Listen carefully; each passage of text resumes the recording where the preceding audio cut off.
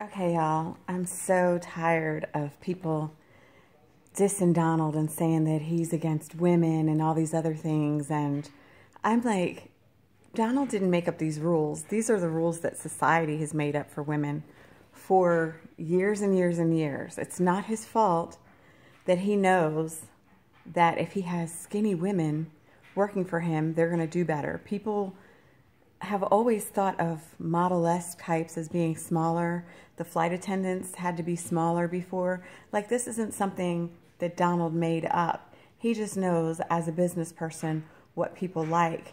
And if he said that he would like a thinner woman on the, the floor of his casinos, big deal. I mean, if you want to be a supermodel, there's a look that you have to have. If you wanted to be a flight attendant, there was a certain weight you had to achieve. And the women that he gets in arguments with, they're specifically with those women. He's not walking around calling everybody fat. And so what if he thinks that a woman looks more appealing if she's not flat chested? That's a womanly characteristic.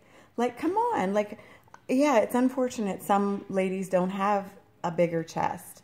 And I'm not saying I've ever used mine to my advantage or anything because I don't I don't really think like that. I'm not a man. But being a woman, we do know that these are things in society that people think, that men think about. And I don't think that he's discriminating against women. I think society has done this, and that's just the way it is.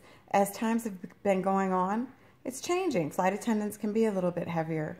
There are heavy set models who are making their way in the world today.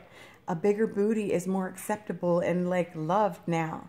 It's just times. You know, it's not Donald that set a precursor for women all around the world. Like, get over yourselves, people, if you think that him or the president denotes how your daughter is going to feel about themselves.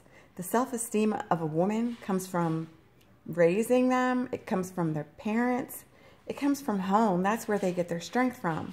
So, yeah, you can look at someone else and think, hey, I'd like to be like that or something. But ultimately, it's someone empowering you from home that really matters.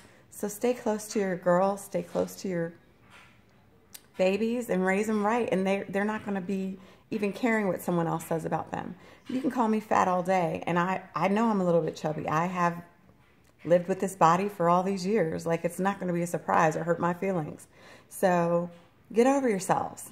Donald didn't make up this thing about women, and he definitely is not going around picking on women. And I'm still mad that you have turned blood coming out of her eyes into a menstrual cycle thing because that's typically when someone's angry, that's what people say.